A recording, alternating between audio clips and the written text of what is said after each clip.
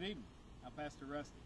This is uh, going to be our Wednesday night gathering. We're going to do it via internet again as we have the last couple weeks. Um, I'm outside in this glorious day. My neighbors are out and about, and um, let's talk about the Lord for a few minutes. I pray that you're home and that you're well, and that um, you're feeling safe and that you're feeling empowered in the Lord. If not, I have a few verses for us tonight to kind of encourage us and, and give us maybe the thing that we need to get through this next little bit of time. I just heard the governor talk, and we've lost quite a few more, and quite a few more have been infected. So you keep praying. Keep praying for those that are infected, and pray for those that um, don't have it yet that they'll stay safe as we go have to go about our daily lives. Let me read a passage of, of scripture from 1 Timothy chapter 4. The Bible says, Now the Holy Spirit tells us clearly that in the last times some will turn away from the true faith. They will follow deceptive spirits and teachings that come from demons. These people are hypocrites and liars, and their conscience is dead. I heard this verse quoted a lot these days, and everybody's running around like Chicken Little with their hands over their head, hollering, "Pandemic! It's the end of the world! You know, everything's getting ready to end." You got to remember that First John tells us the last days began when John was alive, so we're still in the last days. Um, the Bible never tells us about the last of the last days. Listen what Paul said before that. He said, I am writing these things to you now, even though I hope to be with you soon, so that if I am delayed, you will know how people must conduct themselves in the household of God. This is the church of the living God, which is the pillar and foundation of the truth. Then he goes on he says this poem that they had in the first century. Without question, this is the great mystery of our faith. Christ was revealed in a human body, was vindicated by the Spirit, he was seen by angels and announced to the nations. He was believed in throughout the world and taken to heaven in glory. So Paul precedes this chapter. Then he goes on and says, They will say it's wrong to be married and wrong to eat certain foods, but God created those foods to be eaten with thanks by faithful people who know the truth. Since everything God created is good, we should not reject it, but if it's received with thanks, for we know it's made acceptable, or it's sanctified by the word of God and prayer. If you explain these things to the brothers and sisters, Timothy, you will be a good, worthy servant of Jesus Christ, one who is nourished by the message of faith and good teaching that you have followed. He says, Do not waste time arguing over godless ideas and old wives' tales. Instead, train yourself to be godly. Physical training is good, but training for godliness is better, for promising benefits in this life and in the life to come. This is a trustworthy saying, and everyone should accept it. This is why we work hard and continue to struggle, for our hope is in the living God, who is the Savior of all people, especially those of the household of faith. Teach these things and insist that everyone learn them. Do not let anyone think less of you because of your young age. Be an example to all believers in what you say and in the way that you live, in your love, your faith, and your purity. Until I get there, focus on reading the scripture to the church. Encourage the believers and teaching them. Do not neglect the spiritual gift you received through the prophecy spoken over you when the elders of the church laid their hands on you. Give your complete attention to these matters. Throw yourself into your task so that everyone will see your progress. Keep a close watch on how you live and on your teaching. Stay true to what is right for the sake of your own salvation and the salvation of those that hear you. So here we have one of Paul's final letters to his, his young protege Timothy, a guy that that he had seen come to faith and he had been a part of his raising and his training. And, and here Timothy was pastoring, probably pastor at the church at Ephesus. Had a lot of trouble in Ephesus with lots of things that went on around them and lots of lots of ancient cultic practices and those things. But but Paul's trying to encourage young pastor Timothy. And so we get to read kind of a private email here that Paul sent to Timothy so so that he could look into these things and encourage Timothy where he was at. Timothy was a young man, probably in his 30s. And well, the older teachers just kind of rejected him. Some of the older members in the area didn't want to recognize him as a teacher because of his youth. But God, Paul had some very specific things to say to Timothy. He wanted him, first of all, to train. Listen what he says again. He says, Do not waste time arguing over godless ideas and old wives' tales. Instead, train yourself to be godly. That's an interesting thing that Paul's telling Timothy that while he's growing and while he's serving and while he's pastoring, that he should train himself.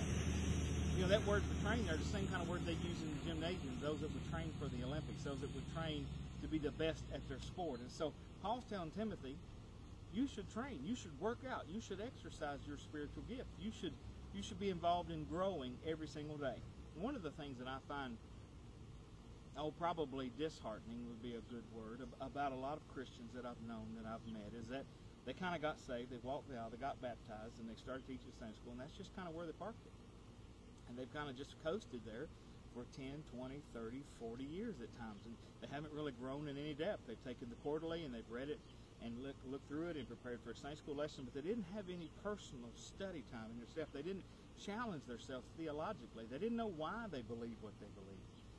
I'm one of those kind of people. I don't care what you believe. If you know why you believe it, at least we can then have a discussion. But if you only believe because Papa Pastor used to teach it, then, then you don't have any depth of root. And, and when troubles like we're in right now come along, you get blown over. So the first thing Paul told Timothy is train yourself. If I can get there on time, I'm going to get there. But if I don't get there, you make sure you keep training yourself in the doctrine that is Christianity. So, so Paul, first thing he told him, he said, train yourself. And then look what he says in verse 11. He says, teach these things and insist that everyone learn them. So it wasn't just for Pastor Timothy to learn and for Pastor Timothy to grow. It was also so that he would teach everybody under his pastorate and, and involved in that church. He was to continue teaching them, and I love the wording of, of the translation I'm using. I insist that they learn it. That's why we pastors, and you see pastors now all over Facebook and YouTube and everything else, that's why you see us challenging and and pushing people. And, and when, when, when people have a complaint, you'll, you'll maybe see us pipe in and say, hey, is this the way a Christian should react? Is this something in your understanding of Christianity? And a lot of people, they don't have any more than that. They just spout off everything they've already heard. They, they live their whole life in, in Facebook memes, just repeating what everybody else is saying. But, but Paul told Timothy to, to teach. He told him to train, and then he told him to teach. You know, that's where we're at right now. We've been deployed we're supposed to go out and be salt and be light, even in the bad times. We shouldn't be rejoicing that it's oh it's the end of the world and you're getting ready to go to hell and burn and fry like bacon. That's not that's not the Christian message.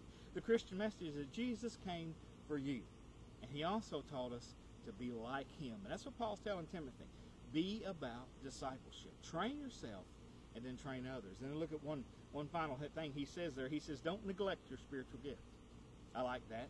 He said, stir that thing up, just like you would those coals that are going out in a fire by a campsite and it's getting a little cool and, and all you see is the ash. Stir them up, blow on, add a little, a little wood to the fire. Next thing you know, it rages back up again. We're in a chance right now to stir up our spiritual gifts. We're, we're in a chance right now that we can go out and we can take the teaching and the training that we received and, and we can go out and, and be ministers. We can be salt and be light to everybody we meet.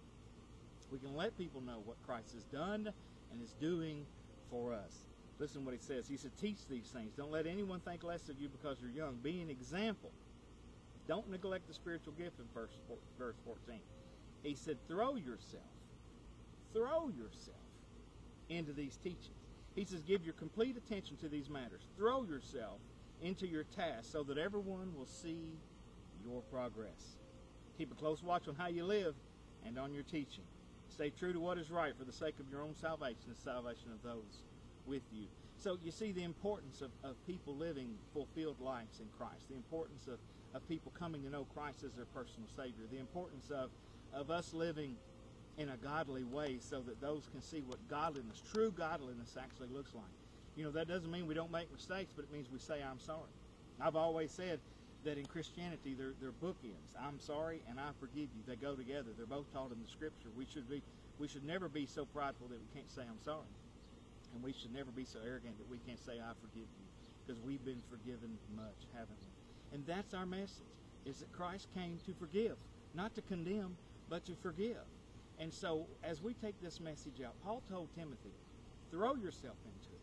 Make that your focus. Make that your livelihood when, when you get up in the morning and when you go to bed at night, your whole day should have been invested in and focusing on what Christ is doing in you and through you and the effect it's having on others. You know, I think if we live that way today, you and I, if we if we would make that our task, as I've been saying in our morning morning inspos, that this is something you can do today. Well, this is something you can do tonight. Train yourself in godliness. Teach those around you what it means to be godly and throw yourself into the task. And I think you're going to see that no matter the situation, no matter what we're facing, Paul told Timothy, in the last days you will see these things. You're going to see this and you're going to see that, and, and all this is going to be happening. They were living in the last days, and so many tragic things have happened in, in the culture since this time. I mean, we're considering back in the middle of the first century when this was written.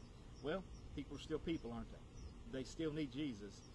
And if we're not the light, and if we're not the salt, how are they ever going to be thirsty for Jesus? I hope this has blessed you this evening. Remember those on our prayer list. Pray for those that are in their homes that can't get out.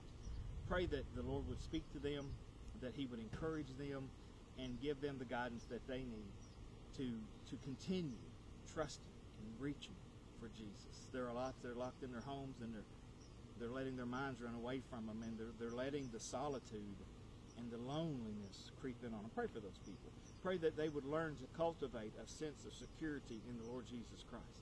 Pray for those that are sick. Pray for those that are hurting. And pray for the church as we go and as we grow. We I've added a YouTube channel. All of my preaching and teaching and, and morning inspos, those are all on this YouTube channel. You can just look up Rusty Fitzpatrick. You'll find me. All my videos are there. I put them all up on the website. Tell people about our website. Tell people about our Facebook broadcast. And, and as we close here this evening in, in a word of prayer, remember each other. Although we can't be physically close to one another right now, we are spiritually knitted together as the body of Christ. And that's his intention. Whether close or far, we're one in Christ. Because Paul says, I'm there with you, Timothy. I'll get there as soon as I can.